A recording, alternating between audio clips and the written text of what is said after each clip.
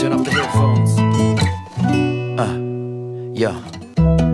Before I begin, you've got to know where I'm coming from. Together with Paw Justice, it is the people who wrote this song. We are the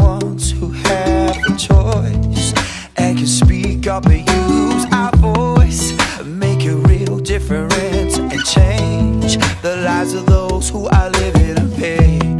We are the ones who wrote the song to show that animal abuse is wrong.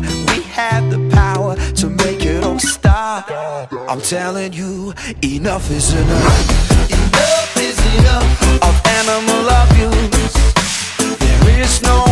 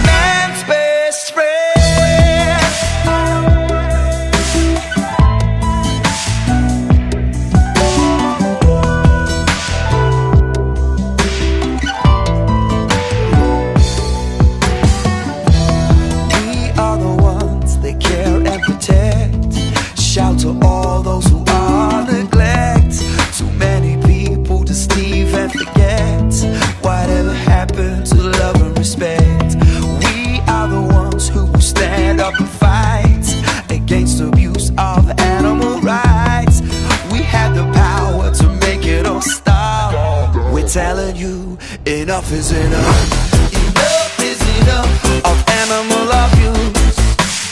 There is no